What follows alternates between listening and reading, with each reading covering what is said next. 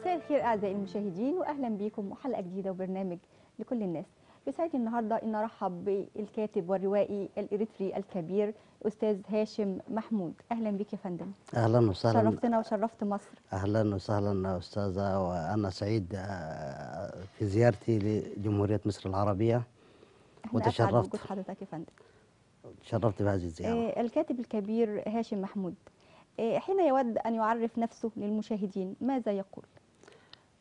يقول هاشم محمود كاتب إريتري روائي آه، مواليد إريتريا عاش فترة من عمره بالسودان آه، دخل العمل الروائي من أجل آه، توثيق ما يمكن توثيقه من الأدب الإريتري وإكمال مسيرة ما بدأه الآباء آه، أمثال العملاق محمد سعيد ناود فهو يعتبر الأب الروحي للأدب الإريتري. تمام. آه أستاذ هاشم لو حضرتك تدينا فكرة موجزة أو مختصرة عن دولة إريتريا الشقيقة. آه، دولة إريتريا دولة آه، أنشئت بقرار من المستعمر الإيطالي على خريطتها الحالية في العام 1890 وثم بعد انهيار ال- الطليان في الحرب العالمية الثانية عصبة الأمم المتحدة آلت حكم إريتريا إلى بريطانيا. ومن بعد بريطانيا دخلت إريتريا في مرحلة مظلمة. آه، ضمت فيدراليا إلى إثيوبيا بقرار جائر وغير مدروس ومن أجل المصالح الدول الكبرى.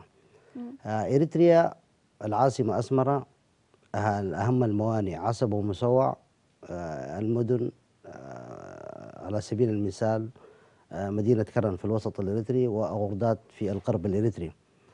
دولة إريتريا تمتاز بساحل آه، بحري طويل آه، يت- يتجاوز الألف كيلو ولها العديد من ال- المرافق البحرية. كما إريتريا تمتلك آه، ذخيرة ذخيرة قوية من الجزر كمية كبيرة جدا من الجزر. يعني نقدر نقول سياحية مثلا؟ آه، نعم لا شك يعني في ذلك سياحه لا شك في ذلك. إريتريا هي تنطبق عليها مقولة آه، ثلاث مواسم في ساعتين. يعني في خلال ساعتين مرورك في بعض المناطق آه، بتمر على س- ثلاث فصول. يعني مثلا فصل الخريف في منطقة ثم فصل الربيع ثم فصل الشتاء أو الصيف في منطقة يعني أخرى. مميز الحقيقة. مميز جدا خاصة الم- المنطقة المرتفعة. الهدب وامتداداتها. تمام. آه، أستاذ هاشم آه، تعريف الأدب من وجهة نظر حضرتك وايه هدفه أو أهدافه وتأثيره في المجتمعات وتأثيره خاصة في الثورة الاريتريه آه، طبعا الأدب آه، هو يعتبر آه، مكمل للحياة ويعكس واقع مجتمع معين تعريفي له ويقدم ثقافة المجتمع في غالب قد يكون مختلف عن النمط العادي. آه، بالنسبة للأدب في الثورة الإريترية وهذا كلام كبير جدا وقد لا يسعنا المجال نتحدث فيه كثيرا. باختصار يا فندم. باختصار آه، الثورة الإريترية آه، أولا آه، أسست هنا بالقاهرة بالقاهرة. بالقاهرة في العام 1962 تحديدا في منطقة شريف يعني باب شريف. آه ولل- وللقاهرة أيادي بيداء للثورة الإريترية. سجلها التاريخ. وأحب هنا أن أتذكر أنه أهني آه الرعيل الأول من من الثورة الإريترية والآباء المؤسسين. وإن كانوا من هم أجداد. آه الأدب لعب دور كبير في الثورة الإريترية. على سبيل المثال لا الحصر الشعر باللغة والأغاني كانت تبث الحماس. وكان هنالك من آه، يتأثر بهذه الأغاني الثورية ويلتحق بالثورة بالساحة فالأدب يعتبر العمود الفقري للثورة الإريترية. تمام. لو حضرتك اتكلمنا عن بداياتك الأدبية. بداياتي الأدبية. بداية بداياتي الأدبية قد تنقسم إلى قسمين. القسم الأول هو المحاولة. محاولة دخول العمل الروائي. عمر قد إيه يا فندم؟ تقريبا كده. أنا بدأت تقريبا بالعام 2013 12 في في هاي الفترة بين 12 و 13 بدأت المحاولات الأولى. ولكن توقفت. لم أستمر في هذه المحاولة أو جمدت ال- ال- ال- سبب المسودات. التوقف كان إيه؟ التخوف من المجال. لأنه دخول مجال الأدب آه، وأنت مزحوم بأعمال ومزحوم بأسرة ومزحوم ببرامج قد لا تواصل قد لا تستمر فيه لفترة طويلة. وقد يحتاج منك إلى مجهود. لكن عودت في العام 2017 آه، أن أتوكل على الله. كان سبب العودة إيه؟ يعني إيه شجعك على إنك ترجع تبتدي من جديد؟ آه، كان الدافع الرئيسي إنه آه، تكملة مسيرة ما بدأه الآباء والأجداد. آه، هدف تا- وطني يعني. هدف وطني بحت آه، توثيق مسيرة الثورة وتوثيق مسيرة النضالات الإريترية والعمل على آه، التكملة. هنالك بدأوا كتاب إريتريين كما ذكرت في آه، من الرعيل الأول آه، السيد آه، محمد المرحوم محمد سعيد ناود رحمة الله عليه آه، في رواية رحلة الشتاء. فأردت أن أكمل هذه المسيرة وأن أتحدى نفسي واستيعاب وأن يكون لي بصمة في التاريخ الإريتري أو في الأدب الإريتري. طيب حضرتك لو هتكلمني عن أهم الصعوبات اللي حضرتك واجهتها بشكل شخصي أو الأدب الإريتري بشكل عام بيواجهها؟ آه، جيلي قد يعاني كثيرا لأنه نحن نعتبر جيل المخضرمين.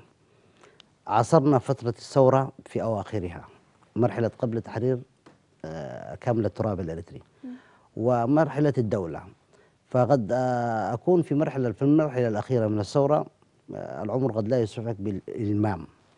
إذا أنت تحتاج هنا إلى مرشد أو تحتاج إلى من تستمع منه معه أو تحتاج إلى أن تجلس مع المناضلين آه، والمثقفين الذين عاصروا تحديدا فترة السبعينيات فترة قوة الثورة.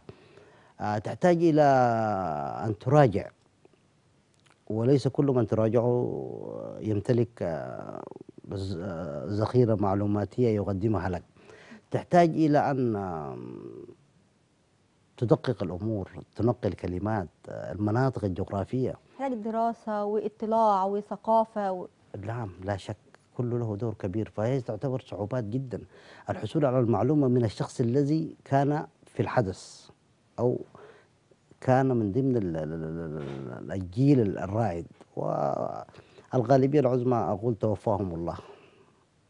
طيب من هم الأدباء آه، اللي سيادتك بتعتبرهم قدوة ليك أو اتأثرت بيهم سواء أدباء آه، عرب أو في إريتريا بشكل خاص؟ للأسف الشديد آه، لم أتأثر أو لم أرتبط بأي خط. يعني ليك مدرسة خاصة بيهم انفردت بها. أردت أن أدخل إلى مجال الأدب وأف- وأقدم نفسي بما أراه يخدم المجتمع. بمعنى لو تأثرت بأي كاتب أو روائي آخر فهنا أنا مجرد مقلد لا أكثر ولا أقل. أو مجرد آه، استنسخ أسلوب. لا فلنكن واضحين أكثر. لخط الواضح جدا الذي آه، أعتبره فيما بعد. هل هو خط محدد يعني مثلا في اتجاه آه، واحد ولا متنوع يعني حضرتك بتكتب أعمال سياسية اقتصادية يعني اجتماعية. إيه نوع المدرسة اللي حضرتك تنتمي إليها؟ أنا أنتمي في الأدب إلى المدرسة الواقعية. الواقعية؟ الواقعية. آه، لأنه آه، أحس أنه في كثير من الأعمال تحتاج إلى أن نكون واقعيين في عكسها في عكس الثقافة في عكس الأدب. في عكس التاريخ. أما بخصوص ال- ال- الأعمال ال- ال- المجالات التي أحب أن أكتب فيها عن نفسي فأنا أتمنى وهنا من هذه المنصة أتقدم بمناشدة لكل إريتري أن أن يكتب على تاريخ إريتريا فتاريخ إريتريا زاخر وغني ويحتاج إلى تنقيب ويحتاج إلى تدقيق وإلى تمحيص. وكل كاتب يقدم عمله تحديدا في التاريخ الإريتري يجب أن يكون محايد لأننا في فترة الثورة كنا أكثر من فصيل وكنا أكثر من آه، هل اتجاه تشعر حضرتك إن في تقصير من الكتاب عندكم في إظهار إريتريا أو الأدب ال- الإريتري بشكل واضح ومميز؟ في الفترة الأخيرة في السابق آه، استطيع أن أقول أنه الشعب الإريتري كان همه الأول والأخير هو تحرير كامل التراب الإريتري وبناء الدولة الإريترية. تمام. آه، لكن كانت هنالك محاولات في السابق محاولات والآن ما شاء الله الساحة الإريترية فيها العديد من الكتاب آه، والكل مجتهد. طبعا الكل نصيب. مجتهد في تقديم ما, ما يراه مناسب ما يراه يخدم المجتمع. الآن لا أستطيع أن أذكر كاتب على حساب كاتب وأتجاوز غامة وأكون تدخلت في مجالات آه، الندية. لكن هنالك كتاب إريتريين في في في الفترة الأخيرة ظهروا ولهم بصماتهم آه، ولهم خطوطهم الوطنية ولهم خطوطهم آه، التي يقتنعون بها غير ذلك. طيب يا فندم أكيد كل كاتب له طقوس معينة بيتبعها لما يكون في بداية مشروع أدبي جديد. إيه طقوس الكاتب الكبير هاشم محمود؟ آه، دعيني أكون عندما يشرع في كتابة عمل أدبي جديد. دعيني أكون واقعي وأكون منطقي. وأرد على بعض التساؤلات التي قد تكون آه، تحوم حول بعض الأصدقاء. اتفضل. آه، بطبعي مزحوم. إنسان موظف له عائلة له ارتباطات أخرى اجتماعية آه، ارتباطات تهتم بشؤون آه، يمينا كان أو يسارا. فالوقت عندي ضيق جدا. كثيرون يتساءلون متى يكتب هاشم محمود؟ الإجابة من هذه الحلقة هاشم محمود يكتب في الفترات المتأخرة من الليل.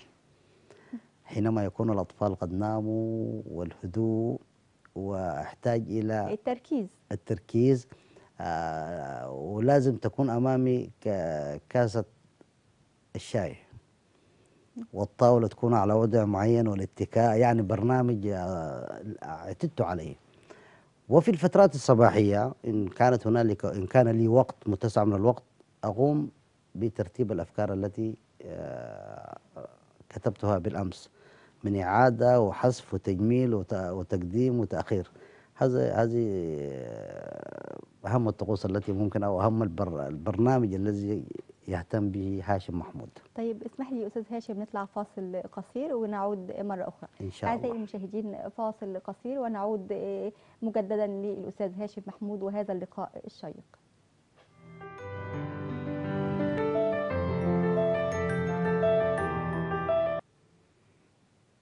أعزائي المشاهدين عدنا من جديد. آه، برحب بحضرتك مجددا أستاذ هاشم. آه، حضرتك وسهلاً. كلمني دلوقتي عن أهم أعمالك الأدبية. أعمالي الأدبية هي أربعة. العمل الأول هو الطريق إلى أدال. الطريق إلى أداء الطريق إلى أدال. ومن لا يعرف أدال أدال هي المعركة الأولى في الكفاح المسلح الإريتري ضد العدو الإثيوبي بتاريخ 1 9 1961 وبقيادة البطل الشهيد القائد حامد إدريس عواته ورفاقه الميامين آه، من الرعيل الأول. هل هو عمل واقعي؟ آه، عمل قد لا يكون واقعي ولكن عمل يسرد آه، فيه سرد لهذه المرحلة. يعني اقتباسات ومحاولات وتأكيد لبعض التواريخ فالطريق إلى أدال هو نعتبره آه، عمل تاريخي تار- يجسد مرحلة تاريخية زمنية محددة. نعم في تاريخ الثورة الإريترية. العمل الثاني هو تجربة. تجربة هي المعركة ال- المواجهة القوية المباشرة والمواجهة التي أكسبت الثورة الاعتراف. في فترة آدال كان المستعمر الإثيوبي يطلق على الثورة أسماء مسميات خارجين عن القانون وما أدراك إلى آخره ومجرد قطاع طرق ومجرد هؤلاء مناطقيين وما إلى ذلك.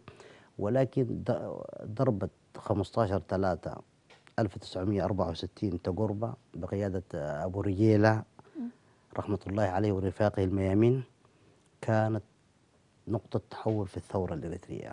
أعطت الثورة اعتراف وبدأ آه، هيلي سلاسي الإمبراطور الإثيوبي يتحدث علنا عن الثورة وعن الحلول المقترحة لإخماد هذه الثورة.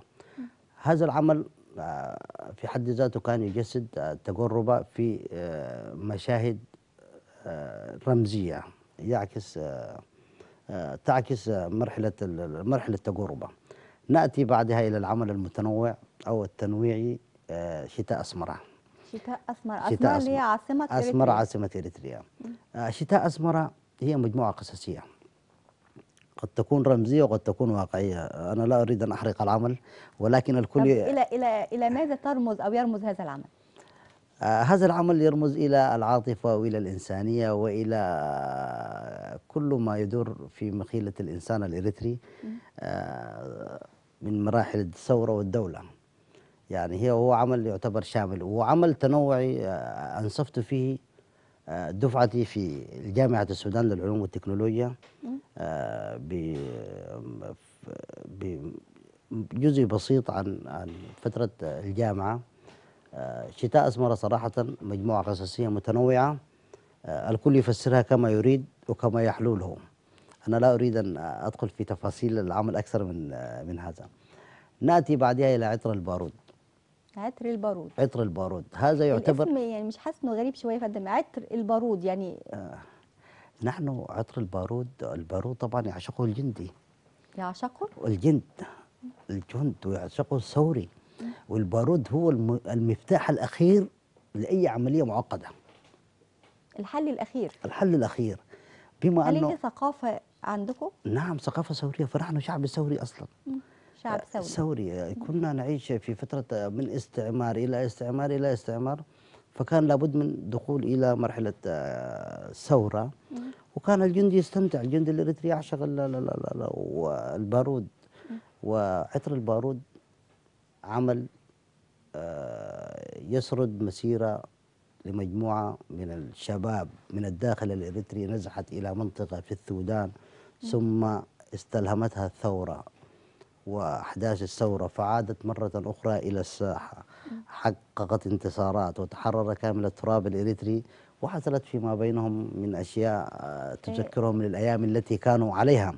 فنعتبر آه، عطر البارود هو عمل آه، جميل جدا وعمل يعكس مراحل مختلفة في الثورة في في إريتريا وفي. الثقافة الإريترية. أستاذ هاشم أي أعمال حضرتك مقربة لنفسك وأيه بتحب إنه يكون عمل سينمائي؟ آه، بالضبط العمل آه، هنا السؤال مزدوج. ال- المقرب إلى نفسي الطريق إلى أدال. مم. فكل إريتريا عشق أدال ومن أدال ولد الأبطال. هي أنا أعتبره عمل آه، تحس كأنه ابنك معلش البكر. سريعا لأن وقتنا فعلا ما عادش معانا دقيقتين عطر البارود عطر البارود هو المفروض يكون عمل وثائقي أو عمل آه، فيلم شيء هو, عطر البارود أنا بالنسبة لي مميز جدا يعني. تمام. هو آخر عمل صدر من- تحب يكون عمل سينمائي أو تفضل أن يكون عمل سينمائي؟ يتمنى أن أن أن, أن يقيم تقييم سليم و- ويأخذ آه، نصيبه في التقييم أخيرا أستاذ هاشم تحب توجه كلمة شكر لمين؟ أنا من هنا أتقدم بجزيل الشكر لأخي وصديقي العملاق حسين حسن جوبيل هذا الرسام الذي يضع بصمات آه، تجعل كل إنسان تجعل كل كتاب جاذب. آه، كما أتقدم بجزيل الشكر إلى كل الإخوة المصريين سواء كان الفن على, على, رأسهم أخي آه، مفرح سرحان الشاعر العظيم. كل الذين رحبوا بي ولا أريد أن أذك- أذكر أفرادا تمام. ف... وإحنا كمان يا فندم بنشكرك جدا على تواجدك معانا وشرفتنا وكان لقاء الحقيقة مفيد ومثمر. آه، اتعرفنا عن حضرتك شخصيا وعن دولة إريتريا الشقيقة. آه، أشكرك جدا يا فندم لتواجدك معايا. آه، أعزائي المشاهدين شكرا لتيم المتابعة. انتظرونا إن شاء الله في الأسبوع القادم. حلقة جديدة وبرنامج لكل الناس.